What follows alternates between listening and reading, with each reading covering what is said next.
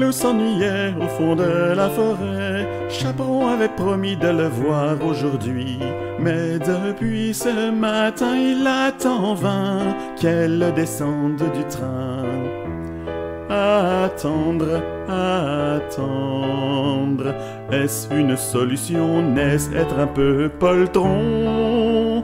De toujours espérer, sans jamais se mouiller, le renard déçu par ce fromage rond qu'il avait obtenu de discours et passion, voulait aller là-haut avec Maître Corbeau, voir comme le monde est beau.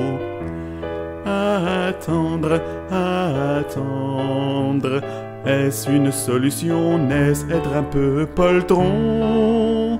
Que de toujours espérer, sans jamais se mouiller. Seguin attendait dans sa maisonnette Un beau soir d'été, sa petite Blanchette.